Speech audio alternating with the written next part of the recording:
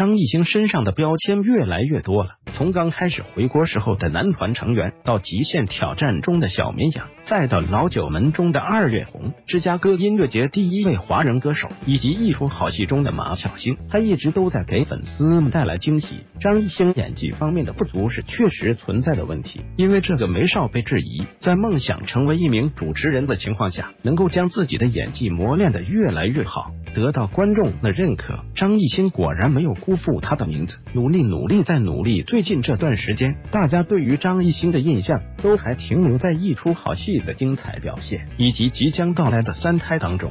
但是伊能静昨天深夜的一番话，让大家再次关注到了张艺兴的另外一个角色小花。在《沙海》播出之前，张艺兴受南派三叔的邀请，友情客串杰雨辰的消息传出，粉丝们都激动不已。说起来，杰雨辰是二月红的徒弟，张艺兴曾经饰演过二月红，现在再次饰演二月红的徒弟，角色转换有点大。在杰雨辰出现并且为已故的二月红上香的时候，不少网友都表示自己身上起了很多鸡皮疙瘩。这种感觉说不上来，因为《沙海》中张艺兴的镜头太少了，所以许多人都没有看。伊能静对于这部电视剧倒是从头追到了尾，还成为了秦昊最大的粉头。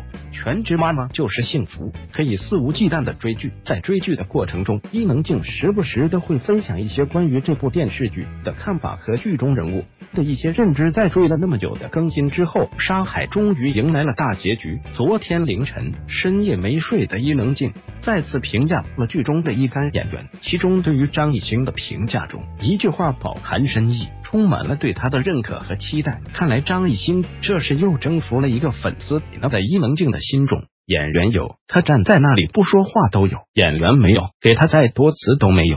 而张艺兴就是那个有的演员，想想还觉得有一些感动。从从天而降的一出好戏，张艺兴的进步肉眼可见。网友未来可期，这样正能量。的偶像确实可以刺激粉丝们更加努力，成为更好的自己。所以，理智追星，选择自己喜欢的偶像非常重要。希望大家喜欢的都是不会辜负粉丝的偶像。伊能静深夜评价张艺兴，一句话饱含深意。网友未来可期，张艺兴能够取得一个个成就，获得一个个前辈的认可。